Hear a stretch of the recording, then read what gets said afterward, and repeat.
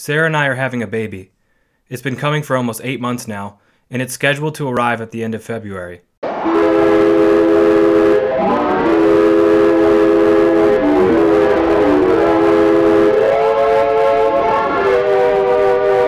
Eight months is a long time.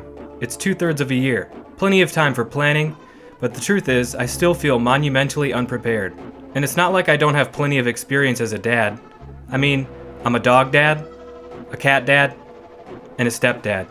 But I ain't never been no baby dad. There's a lot to know, and I still have so many unanswered questions. Like, what will the baby look like? If it's anything like Sarah and I's face swap, we may have to keep it in the basement. Can you snort prenatals? Why or why not? We're scheduled for a C section, but if I insist on a water birth, can we still do both? What kind of gown will they give me at the hospital? Can I make my own? If so, it'll be denim. How involved do they expect me to be with the operation? Should I hold one of the utensils? If so, which one? Is it like a fork? Since it's a Mardi Gras baby, should I throw beads at it? Do they just print the birth certificate in the operating room? What happens if they switch my baby with some other Bobo kid? How soon can I ask the baby to start contributing financially?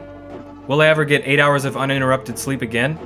And that's just a few of the things that have crossed my mind. I found other answers by reading baby books, pamphlets, and blog posts. And while they've helped me understand what to expect in each trimester, the feeling that I'm in over my head still looms in the distance. And maybe I won't fully grasp everything until I'm sort of forced to. I guess that's how most people figure this type of shit out. Speaking of that, we're thinking about using cloth diapers instead of the non biodegradable ones. There's the obvious benefits like cost savings and the fact that it's less wasteful. But it kind of makes me feel like I'm purposefully making it harder on myself. But I can deal with all that. What scares me the most is that I just won't know what to do. From what I've read, babies aren't very self reliant. The same cry could mean any number of things. Wham wham, I'm hungry. Wham wham, I'm tired. Wham wham, my diaper needs changing.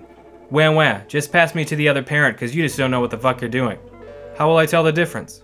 At least there are some things that I do know, Mirabelle is psyched to be a big sister. Sarah is a wonderful mother and can guide me in times of confusion. My kids will always know that I love them unconditionally. And if things do get too stressful, Uncle Merlin is always around to help. Hmm, I feel better. Now I just have to hope it's not going to be one of those kids that can talk to ghosts. I've got enough to worry about. I'll be fine. Right?